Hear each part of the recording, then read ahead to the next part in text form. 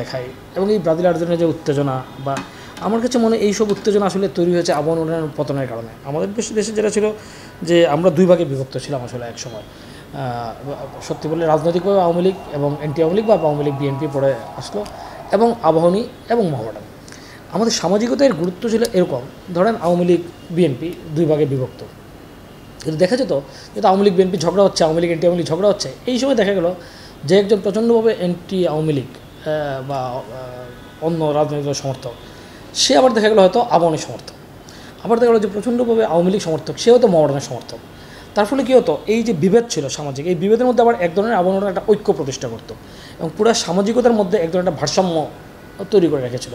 এবং খুব ইন্টারেস্টিং এখানে আমার পাশের রুমে বসেন গাফর ভাই। গাফর ভাই কিন্তু ছাত্রলীগ করতেন, আওয়ামী লীগের সমর্থক, কিন্তু আবার তিনি ছিলেন মমডান ভালোভাবে আমরা জানি যে তিনি প্রচণ্ডভাবে আওয়ামী লীগ, কিন্তু তিনি করতেন মমডান এরকম আসলে অনেকগুলা বিষয় ছিল। আবার দেখা গেল যে আওয়ামী রাজনীতির ধারার অন্য ধারার যেমন ধরেন আলী আসগর লবি আমরা চিনি ক্রিকেট বোর্ড প্রেসিডেন্ট কিন্তু উনি কিন্তু আবনের ডিরেক্টর ছিলেন। তো এই সব কিছু মিলিয়ে এই যে শার্প পলিটিক্যাল ডিভিশন ছিল, সেটার মধ্যে একটা ঐক্য আবরণরা নিয়ে আসতো। আবার আবনুরানের যে বিভেদ, সেটার মধ্যে আবার দেখা যেত আবনুরানা মারামারি করছে। এই সময় দেখা যে আচ্ছা যে দুজন মারামারি তারা রাজনৈতিকভাবে এক দলের সমর্থক।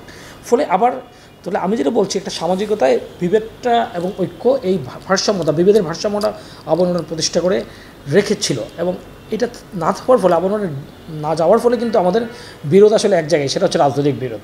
ফলে এটা খুব তীব্রতা পায়, এটা উগ্রতা পায়। এই উগ্রতার মধ্যে কোনো ব্যালেন্সিং ফ্যাক্টর নাই। ফলে আমি মনে করছি যে, আমাদের আবরণের পতন আমাদের সামাজিকতায় যে ভারসাম্যের জায়গা ছিল বিরোধের মধ্যে যে ঐক্য ছিল, সেই ঐক্যটা আসলে শেষ হয়ে গেছে। এবং আরেকটা যেটা ঘটেছে, এর ফলে কী হয়েছে, মানুষের স্পোর্টস বিনোদনে কিন্তু আমরা আসলে এক ধরনের বিভক্তির একটা বড় আনন্দ। ধরুন আপনার দল জিতেছে, এতে আপনার আনন্দ পূর্ণতা পাবেন। আপনার প্রতিদ্বন্দ্বী হেরেছে, এইটা আপনার আনন্দকে পূর্ণতা দেবে। তাকে প্রতিদিন টন করবেন ট্রল করবেন। এখন যেটা হচ্ছে, আমরা সবাই ক্রিকেট যখন আমাদের আবনমোড়া শহরে ফুটবল শহরে ক্রিকেট মূল খেলা হলো, আমরা সবাই কিন্তু বাংলাদেশের সমর্থক। ফলে বাংলায় জিতে সবাই আনন্দ করি, কাউকে আসলে আমরা খোঁচানোর জায়গা পাই না। তো এই কারণে যেটা হয়েছে, এই বিভেদের গত যে বোধটুকু, সেটা তো আবার আছে।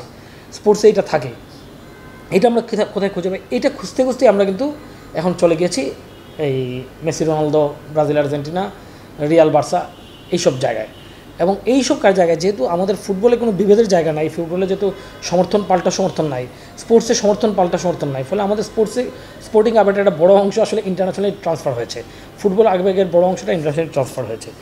এই জন্য আবনুরানের ইম্প্যাক্ট আমি মনে করি larger than football larger than sports যেটা আমরা বুঝতে পারিনি বলেই আসলে আমরা এই জিনিসটাকে আমরা অনেক ক্ষেত্রে নষ্ট করার পেছনে আসলে আমাদের দায় আছে। আমাদের মধ্যে একটা উন্নাসিকতা ফুটবল খেলে কী হবে হুইচ ফান্ডামেন্টালি রং আমি মনে করি এটা আমাদের সোশ্যোলজি এবং স্পোর্টস স্পোর্টস এবং সোশ্যোলজি মিলিয়ে আসলে এটা একটা গবেষণা হওয়া উচিত। এবং সেই জায়গা থেকে আবনমরণের সিগনিফিকেন্স এটা যদি ফিরে আসে, আমি মনে করি আমরা যে ফুটবল জাগানোর চেষ্টা করছি ইন্টারন্যাশনাল ফুটবল এগুলো সে, আমি মনে করি কিচ্ছু হবে না। ফিফা র্যাঙ্কিংয়ে আগানোর চেষ্টা, চিন্তা, এগুলো একদম ভুল। আমাদের আসলে জায়গায় তুলতে হবে আবনী মডার্নকে, ক্লাব ফুটবলকে এবং আবনী মডার্ন বৈরিতা, উগ্রতা, তীব্রতা। পৃথিবীর সব দেশের ফুটবল টিকে আছে, এই তীব্রতায় সমর্থকদের উন্মাদনায়। আমরা সমর্থকদের সেই উন্মাদনা কেড়ে নিয়ে তাকে বাধ্য করছি ফুটবল ভালোবাসতে। বাধ্য করা যায় না। ফুটবল, বাংলাদেশের লোকজন ফুটবল প্রচণ্ডভাবে ভালোবাসে। পৃথিবীর সব দেশ যেমন ভালোবাসে এবং আমাদের এই ভালোবাসার প্রকাশ আমরা ওয়ার্ল্ড কাপ ফুটবলে দেখি।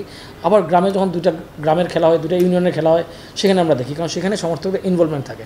এই ইনভলভমেন্ট নাই বলেই আমাদের আসলে আজকে এই অবস্থা। ফলে আবহাওয়া আমি মনে করি উন্মাদনা ফিরে আসা উচিত।